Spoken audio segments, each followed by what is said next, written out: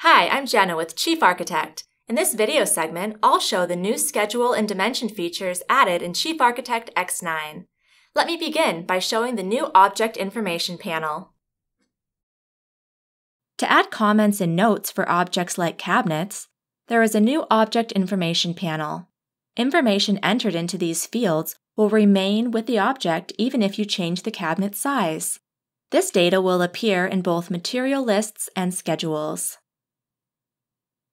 In the cabinet schedule, there are new columns for box height, side finish, and door hinging.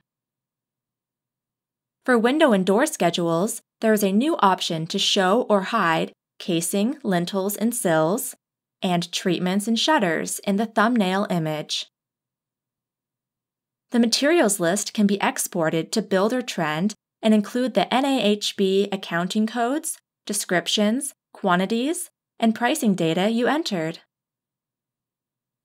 In elevation views, dimensions snap to 3D CAD items like countertops and polyline solids, regardless of the view in which they were originally drawn.